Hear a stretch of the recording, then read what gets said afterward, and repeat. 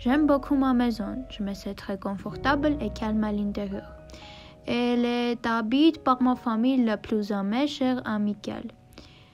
Fini pour moi l'expression ma maison. Ce ne sont pas seulement les murs qui entourent le plafond au-dessus de ma tête et le sol sous mes pieds.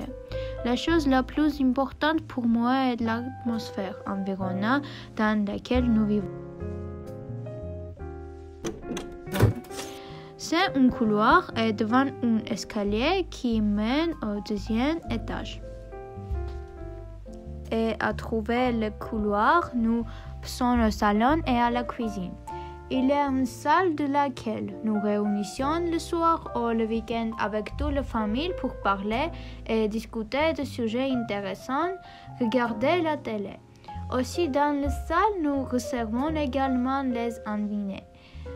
L'endroit préféré de maman de notre maison est à la cuisine. La majorité du temps, après le travail, à la cuisine. Ma mère aime cuisiner, alors la cuisine est la sienne. C'est ma salle de travail au deuxième étage. Ici, je fais principalement des leçons et des activités créatives. Ma chambre est l'incarnation de mon monde intérieur. La beauté de ma chambre fournit de tables sur des murs et écrit par ma main. C'est ma petite chambre. Je m'y trouve que pendant 7 heures dans mon ami. Près de ma chambre, il est la chambre de ma soeur. Ici, elle aime se détendre. Le lieu principal de cette chambre est occupé par le lit. Près de lit, une grosse garde-robe.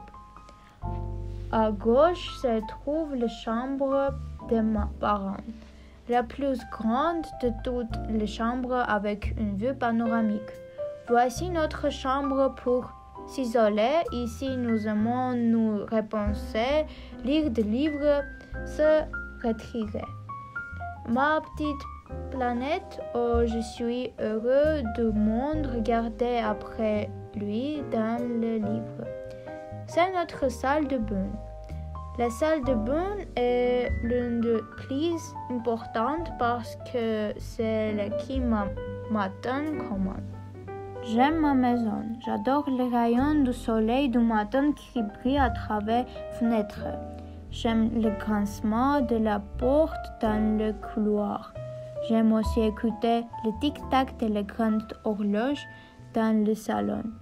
Tous mes mon souvenirs sont conversés ici.